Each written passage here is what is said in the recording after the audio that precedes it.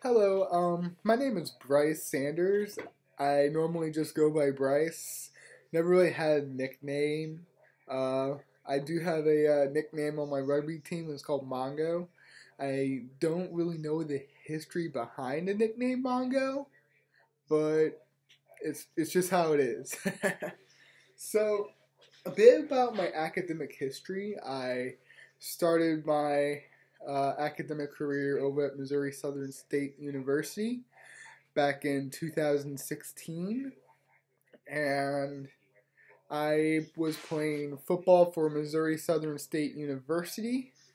And it was a really great time. However, towards like right before I want to say the fifth game, I was scrimmaging. I got hit in the back twisted the wrong way and completely tore my ACL. And after that, it was heading over to winter time, and I had surgery a little late, so it was kind of hard to go to my classes whenever I had to crutch through the snow across campus.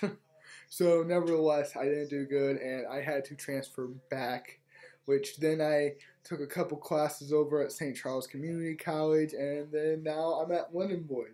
I did one semester here so far. It was fantastic. I did really good, and I'm hoping to do good the next semester and hopefully to get my degree.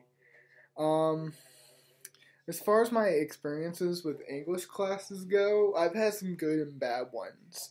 And mainly like I whenever I was a kid, I would struggle with periods and commas, but but I would write at least semi good material.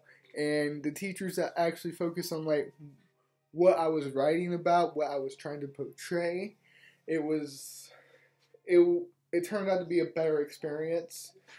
But however, like it would there would be like a comma here or period here, and I would like pour my soul out on a paper and get like a 57 back in uh, fifth grade. So I had those. I had both I had like both experiences where I read fantastic books I would never forget about in some English classes, and I I really just did not want to go to others.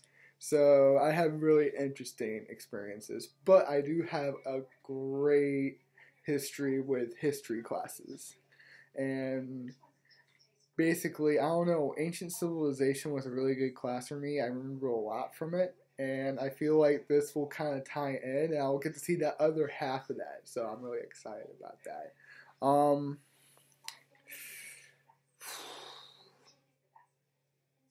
I really don't know what else to say. Yeah.